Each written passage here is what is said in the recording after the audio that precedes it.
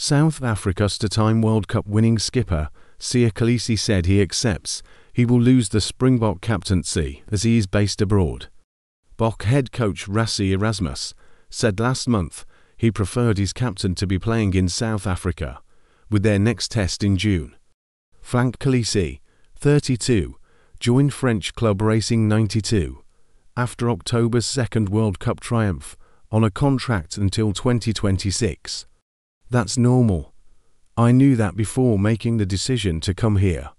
Kolisi told reporters in Paris on Wednesday. Will uh, stop playing international rugby. They will just play for their club, and then obviously the club gives that guy much more money because it will be available for them whenever they need him. Now, Siya did not sign a clause like that. I mean, that's the first thing that tells you, you know, you want to play for South Africa.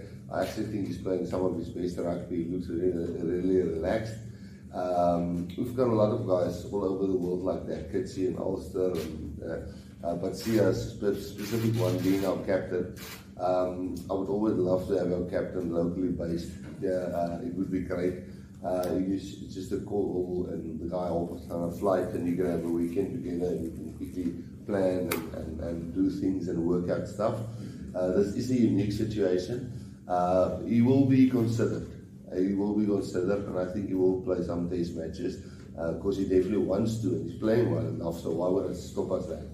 Um, what are we going to do about captaincy? Um, if I, we get the feeling that it's doable, and they know him so well, the players, because he's worked with them eight years now, uh, maybe there's, a, there's, a, there's place for that.